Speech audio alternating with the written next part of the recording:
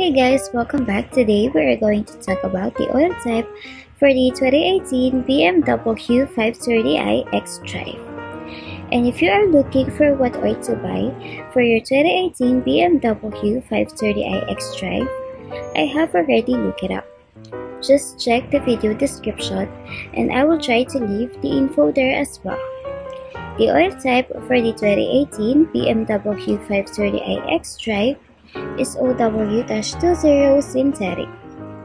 This oil type is only the manufacturer's recommended oil type.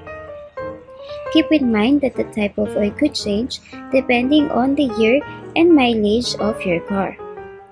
You can change your oil as often as every 3 months or you can ask your mechanic for the recommended oil type and frequency of changing your oil.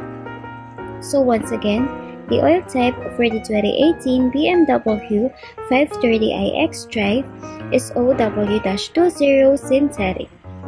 And if your 2018 BMW 530i xDrive uses a different type of oil, or if you know a cheaper place to buy oil for your 2018 BMW 530i xDrive, make sure to leave a comment and let the rest of us know.